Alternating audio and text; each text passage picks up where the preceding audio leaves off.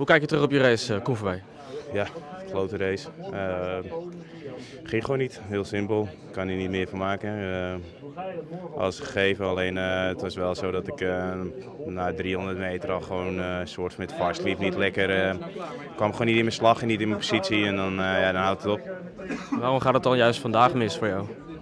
Geen idee, zou ik het weten, dan had ik het graag anders gedaan. Uh, ging goed deze week, voelde me goed. En uh, helaas kon ik het vandaag niet afmaken. Nou, je hebt een andere voorbereiding gehad dan anderen. Er is heel veel over gezegd, gediscussieerd, kritiek gehad erop. Heb je zelf daar nu al uh, gedachten over of je, of je voorbereiding anders had moeten zijn? Of dat je... Ja, heel simpel, dat niet anders kunnen zijn. Uh, dit was de, voor mij de enige route en uh, ik heb de laatste, niet het laatste jaar, het laatste half jaar ben ik bij de Russen aangesloten geweest en dat ging ja, dat ging heel goed. En nou ja, zie je een beetje, mijn basis is daarvoor nog te klein om in een beginseizoen hard te rijden en dan het tweede deel. Ik, jammer dat ik nu niet wist te pieken. Ik voel deze week wel goed, maar ik, ik heb er zelf ook niet echt een verklaring voor waardoor ik nu niet zo heel hard reed. Heel simpel.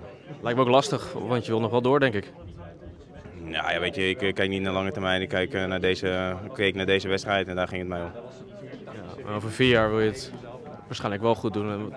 Denk je dat je nog wel iets meeneemt van deze race? Als je er later nog over nadenkt, naar terugkijkt? Nou, deze race hoef ik zo mee te nemen hoor. Deze race uh, reken uh, midden in de nacht nog steeds. Dus uh, wat dat betreft prima. We moeten, moeten kijken wat er hierna gaat gebeuren. Ik heb nog drie afstanden te gaan en twee individuele afstanden. Dus scherp zijn en kijken of we daar even iets recht kunnen zetten. Die motivatie die begint al op te komen, extra motivatie.